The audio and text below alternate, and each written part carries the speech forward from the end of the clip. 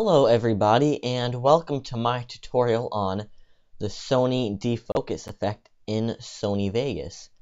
So let's go ahead and open up Sony Vegas so we can begin the tutorial. Okay, and once you have Sony Vegas loaded and your video in the timeline, go ahead and click the video effects icon in the lower right hand corner of the video track.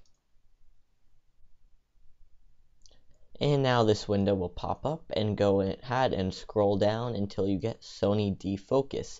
It is the first one in the D's. And then add it and click OK.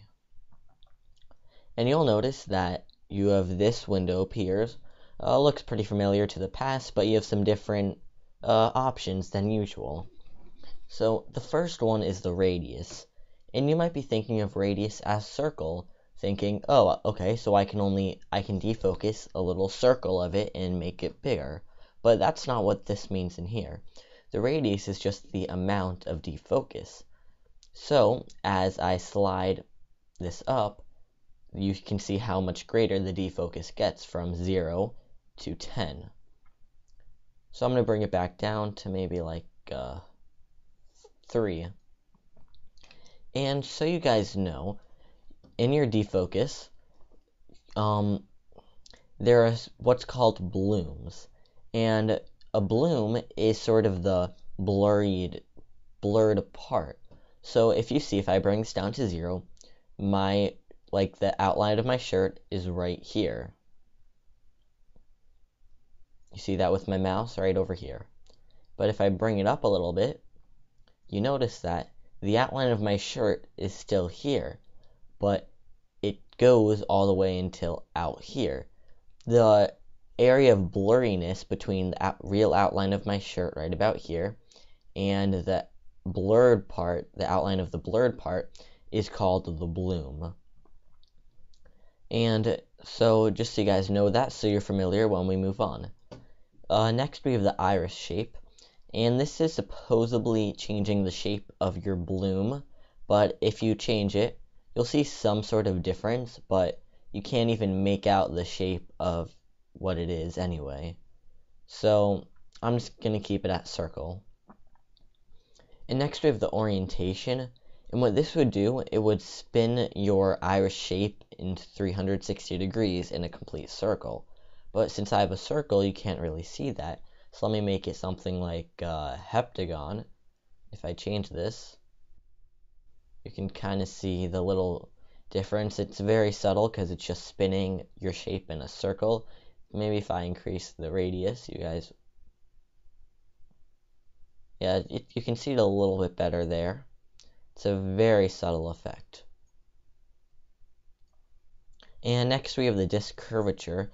And what this does is it adjusts the shape and intensity of the intersection of the bloom. So if I brought this all the way up, so you can, so the blooms are greater, and I move this around, you can kind of see a little bit of adjustment as I go on. It's another very subtle effect, so don't bother wasting so much time with this. Okay, and now we have the bloom threshold. And what this does, it'll control the level where the bloom occurs on light sources. So the higher this is, the fewer light sources will be blooming, and the lower this is, the more light sources will be blooming. So you see, first, if I bring this all the way down, you have all you have all that light source because everything ha- is reflecting light.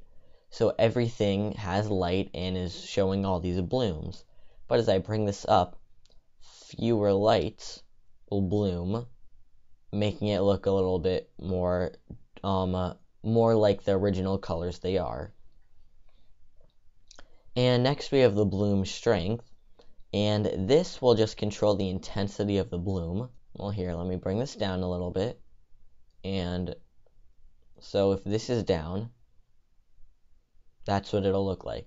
But as I bring this up, see how the intensity of the blooms are getting bigger and it's just a lot brighter and you can even see that this whole white part there is the wall, and then these little circles are the monitors, and they're even covering my face. You can see because my face would be right about there. So unless you don't mind stuff getting cut off and you kind of like the way that looks, um, feel free to use it.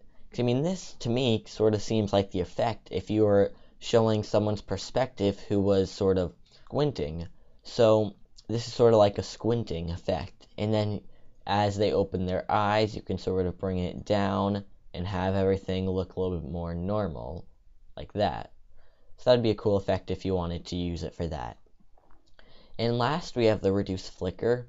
And you're not going to notice a change in your video by clicking this, but what it does, it will pre-filter your um, footage in case there's any filtering or flickering in the output.